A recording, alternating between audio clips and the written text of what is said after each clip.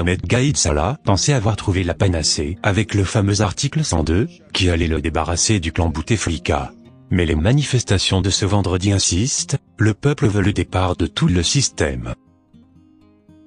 Le général de corps d'armée Ahmed Gaïd Salah pensait tenir le bon bout avec son article 107 de la Constitution, brandi comme solution miracle.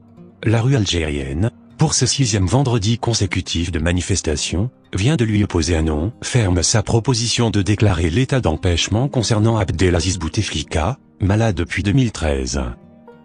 Tout le monde attendait avec fébrilité ce vendredi, pour voir quelle serait réponse la rue réserverait à cette proposition. Mais à travers toute l'Algérie, des manifestations identiques à celles qui ont lieu lors des cinq précédents vendredis ont éclaté.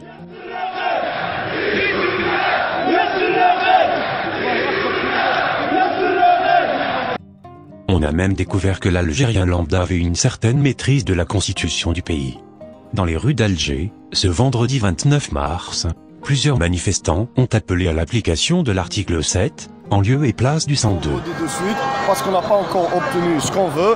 On nous a ramené l'article 102. L'article 102, il est dépassé. Nous, on demande l'application de l'article 7 de la Constitution.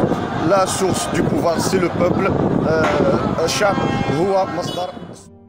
L'article 7 stipule que le peuple est la source de tout pouvoir et la souveraineté nationale appartient exclusivement au peuple. En tout cas, l'ampleur des manifestations de ce vendredi montre que le peuple algérien est déterminé à se débarrasser de tout un système, celui actuellement aux commandes du pays, ce qui signifie que le président du Sénat, Abdelkader Ben Salah, n'a pas plus de chance qu'un autre d'être accepté par les manifestants.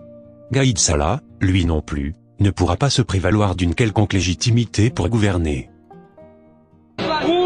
زدتوا ولادنا البادلة نديك وزدتوا حق الحراقة بشكل البادلة جاكم مرحوش بوطي نبادوا هنا نبادوا بلادنا مرحوش بوطي مرحوش بوطي هنا نبادوا بلادنا